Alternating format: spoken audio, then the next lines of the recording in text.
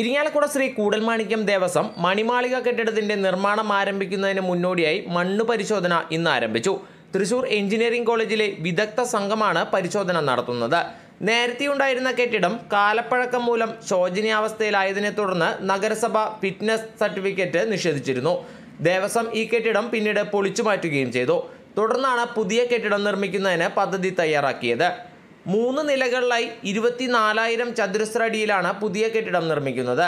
പഴയ കെട്ടിടത്തിലെ വാടകക്കാർക്ക് പുതുക്കിയ വാടകയിൽ കെട്ടിടത്തിൽ സ്ഥലം നൽകും.